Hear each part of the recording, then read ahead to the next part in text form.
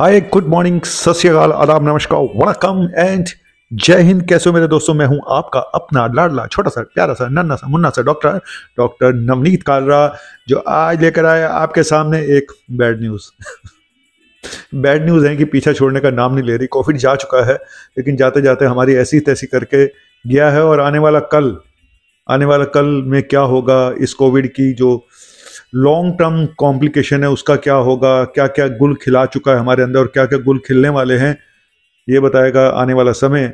लेकिन आ, अभी एक नई स्टडी हुई है उसके बारे में बताना चाहता हूँ। एक नई स्टडी ये हुई है कि जो कोविड है जो इसका वायरस है वो हमारे अंदर तो जा चुका है बॉडी के अंदर।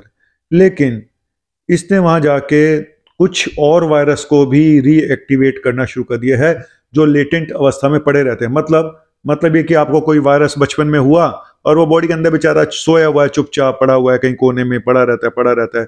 लेकिन ये जाके उन भाई साहब को जगाएगा। जगा रहा है। उठ उठ भाई मैं भी आ गया हूँ उठ अपना ग्रुप बनाते हैं। बताने का स्टाइल मेरा अलग है। थोड़ा मज़ाक में बता रहा हूँ लेकिन ये बात सच है। फॉर uh, एग्ज़ाम्पल ये जो स्टडी हुई है ये मेनली हुई है आज मैं आपको बताऊँ एक जीता जाता है एक, सबसे बड़ा एग्जांपल मैं खड़ा हूँ आपके सामने उस बीमारी का जिसके अंदर एक वायरस बचपन में गया था और जिसने मुझे एक बीमारी दी जिसको कहते हैं माइलसिक एनसेफ्लो माइलाइटिस या क्रोनिक फटिक सिंड्रोम और कौन सा वायरस था ये तो मुझे भी नहीं पता लेकिन बचपन से वो सिम्टम थे मुझे कि थोड़ा सा चलने पे थकान हो जाना ज़्यादा देर खड़े ना हो पाना बीपी का डाउन हो जाना और मतलब कि मैं आप अपने आप को बाकी लोगों से बिल्कुल अलग महसूस करता था। आ, ये बचपन में कोई वायरल फीवर हुआ होगा जो वायरस बॉडी के अंदर चला गया और उसमें मेरी बॉडी को इस तरह से बना दिया। आ, बहुत कॉम्प्रोमाइज़ करने पड़े लाइफ में और हेल्थ के साथ इश्यूज़ बहुत आए। ब्रेन फोगिंग एंग्जाइटी डिप्रेशन जितने सिम्टम होते हैं क्रोनिक फेटिक सिंड्रोम के सब मुझे थे और ये थे एक वायरस की वजह से। आज ये जो स्टडी हुई है इन्होंने इसी मेरी वाली बीमारी जो क्रोनिक फटिक सिंड्रोम है इसी बीमारी के लोगों के अंदर स्टडी करी है कि इनके अंदर और नॉर्मल लोगों में अगर कोविड हो जाए तो क्या होगा?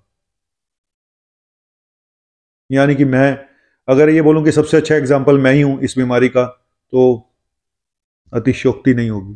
क्योंकि यही स्टडी हुई है कि ये लोगों के ऊपर और नॉर्मल लोगों के ऊपर अगर कोविड का वायरस हुआ तो इसने आगे चल के क्या खेल खिलाने हैं और क्या खेल खिला रहा है। मेन ये स्टडी है कि अंदर सोए हुए दूसरे वायरस को भी जगा देता है, जो शायद कभी बचपन में आपको हुए होंगे, कभी चुपचाप जो इस कोने में पड़े हुए हैं, उनको जगा रहा है।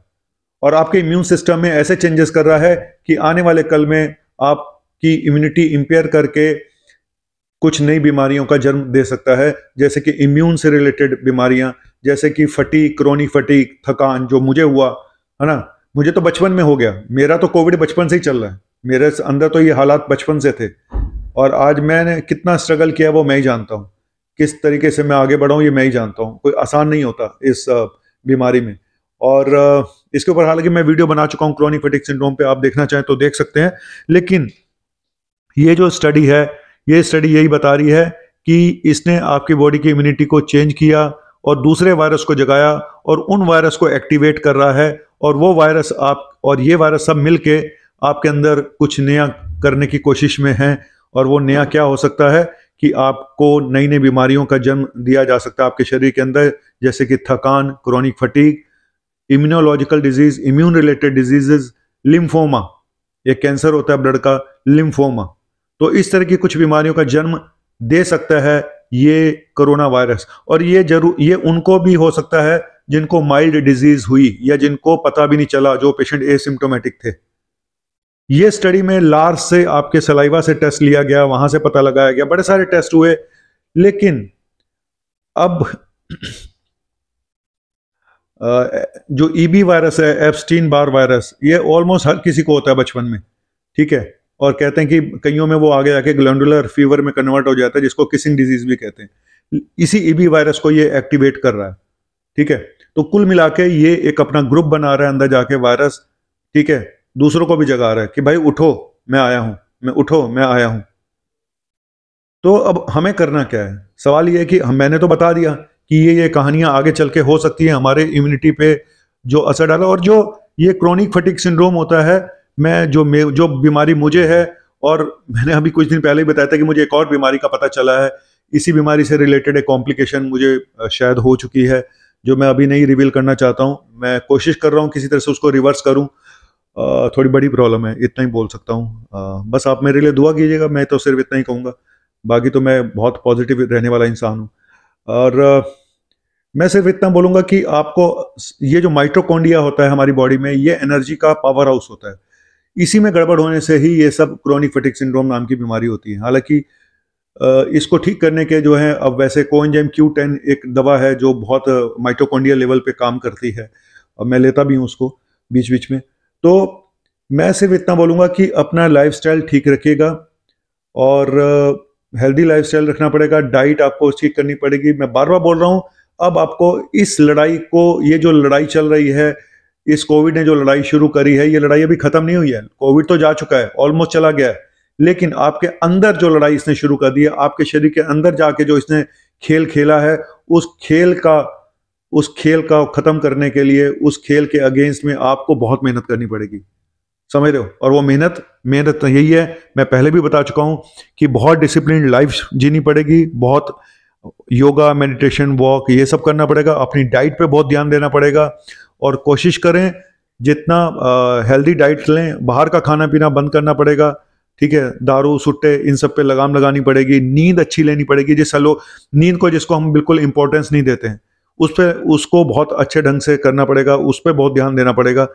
और कुल मिला के एक ये बहुत ही आने वाला समय जो आप देख रहे हो, हार्ट अटैक हो रहे हैं, ये हो रहे हैं, वो हो रहे हैं। और अभी मैं जो देख रहा हूँ, मेरे पास इतने पेशेंट आ रहे हैं जिनके हीमोग्लोबिन बड़े हुए आ रहे हैं, जिसको पोलिसाइथीमिया कहते हैं। मैंने कभी ज़िंदगी में इतने पेशेंट नहीं देखे। पिछले जो मैंने छह महीनों में पेशेंट देखे, हर महीने मैं दो तीन पेशेंट देखता हूँ जिनका हीमोग्लोबिन ज़्यादा आ रहा है। जबकि मेडिकल कॉलेज में रहते हुए हमने इतने पेशेंट नहीं देखे जितने मैं पिछले छह महीनों में पोलिसाइथीमिया के पेशेंट देख चुका हूँ, जिसमें फिर ब्लड डोनेट करना पड़ता है और या ब्लड क्लॉटिंग के चांसेस बढ़ जाते हैं, जिनका हीमोग्लोबिन सत्रह अठारह से ऊपर हो जाए तो जिसको पोलिसाइथीमिया वेरा कहते हैं। तो ये पहले क्यों, पहले तो कभी नहीं देखे तो कहीं ना कहीं आपका जो कोविड है, मैं फिर बोल रहा हूँ बॉडी में आने वाला वक्त बताएगा कि हमारी बॉडी में डरा नहीं रहा हूँ। मेरे साथ तो देखो, मेरे साथ मैं तो जीता जाता एग्ज़ाम्पल हूँ। जिसके अंदर एक कोविड टाइप का कोई वायरस कभी बचपन में आया था और उसने मेरी ज़िंदगी बदल के रख दी। ना तो मैं वो उतना एंजॉय कर पाता हूँ दूसरे लोगों की तरह से, ना मैं दौड़ भाग कर पाता था। मेरे साथ के लोग कितना हँसते थे, खेलते थे, भागते थे और मैं एक कोने में बैठा होता था, जब शारीरिक मान, काम करने का वो होता था। मानसिक रूप रूप से मैं बहुत स्ट्रांग था। तभी शायद मैंने ये लड़ाई जीती है, ये जंग जीती है। वरना क्रोनिक फटिक सिंड्रोम के लोग किसी एडिक्शन का शिकार हो जाते हैं। या फिर उनकी ज़िंदगी पचास, चालीस, पचास साल से ऊपर नहीं जाती। बेड रिडन हो जाते हैं। मेरी जंग तो जल, चल रही है। कब से चल रही है? क्या बोलूँ मैं अपने बारे में? कई बार अपने आप पे भी तरस आता है, नवनीत ये सब तेरे साथ ही क्यों हुआ? फिर लगता है कि शायद, चलो, परमात्मा ने, ऊपर वाले ने इतना तो दिया ना, मुझे चार हाथ पैर दिए उन लोगों से तो अच्छा हो ना। दिमाग तो दिया ना, डॉक्टर तो बनाया ना। भगवान ने काफ़ी कुछ चीज़ें अच्छी भी दी हैं, अगर एक बीमारी दी तो। चलिए, मेहनत करिए अपने ऊपर और ज़िंदगी में कुछ भी नामुमकिन नहीं है और इस कोविड की माँ का नागिसा का इसने अंदर हमारे अगर गुल खिलाने आया है तो इसको अगर जवाब देना तो आपको अपनी इम्यूनिटी पे काम करना पड़ेगा, जो हम बहुत कम सोचते हैं अपनी इम्यूनिटी के बारे में। और इम्यूनिटी एक दिन का खेल नहीं है, और इम्यूनिटी खाली ये सप्लीमेंट्स खा के ही नहीं होती, ठीक है? कुछ सप्लीमेंट्स अच्छे हैं, जैसे मैं खुद को को एंजाम क्यू टेन खाता हूँ, या कुछ एक दो सप्लीमेंट्स और लेता हूँ, मैंने पहले भी बताया वीडियो में। तो लेकिन मैं यही बोलूँगा कि खाली सप्लीमेंट्स पे भरोसे मत रहिए। सुबह उठ के आधा पौना घंटा वॉक योगा मेडिटेशन एक घंटा बस। बार बार बोलो एक घंटा अपने आप को देना शुरू कर दो, अगर नहीं दे रहे हो। अगर पहले नहीं दे रहे तो अब देना शुरू कर दो, क्योंकि अब कोविड आपसे युद्ध कर रहा है। डंके पे चोट पड़ी है, सामने मौत खड़ी है, युद्ध कर युद्ध कर युद्ध कर।